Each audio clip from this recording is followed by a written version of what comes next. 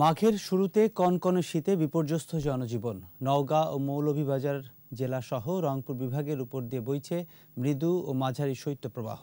দেশের সর্বনিম্ন তাপমাত্রা পঞ্চগড়ের তেঁতুলিয়ায় ছয় দশমিক এক ডিগ্রি সেলসিয়াস। টানা শীতে দুর্ভোগে খেটে খাওয়া মানুষ বেড়েছে গরম কাপড়ের দাম। প্রতিনিধিদের সহায়তায় আরও জানাচ্ছেন সমর ইসলাম। রংপুর সহ উত্তরাঞ্চলের আট জেলায় ঘন কুয়াশার সাথে বইছে শৈত্যপ্রবাহ। টানা শীতে বিপাকে সাধারণ মানুষ। সন্ধ্যার পর নগরীর বেশিরভাগ রাস্তাঘাট জনশূন্য হয়ে পড়ে। এদিকে শীত দীর্ঘায়িত হওয়ায় বেড়েছে গরম কাপড়ের দাম।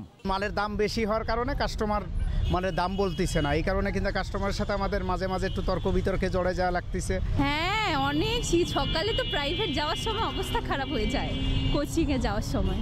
ঠান্ডার কারণে একটু আসলাম যে একটু দেখি শীতের কাপড় কিনতে আসলাম। মৃদু ও মাঝারি শৈত্যপ্রবাহ বইছে মৌলভীবাজার ও নওগাঁ জেলাতেও। সঙ্গে কুয়াশার চাদরে ঢাকা চারদিক কনকনে ঠান্ডায় বিপর্যস্ত এসব অঞ্চলের মানুষ। বিশেষ প্রয়োজন ছাড়া কেউ ঘরের বাইরে বের হচ্ছে না। খেটে খাওয়া নির্ময়ের মানুষ পড়েছেন চরম বিপাকে।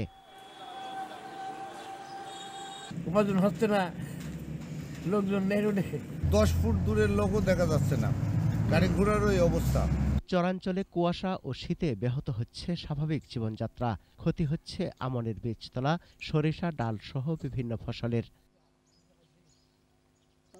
এদিকে ঘন কুয়াশার কারণে দৌলতদিয়া পাটুরিয়া ঘাটে প্রতিদিনই ব্যাহত হচ্ছে ফেরি চলাচল। আবহাওয়া অফিস বলছে, দেশের কয়েকটি জায়গায় গড়ে গড়ি ও হালকা বৃষ্টি হওয়ার সম্ভাবনা রয়েছে। সমর ইসলাম, একুশে টেলিভিশন।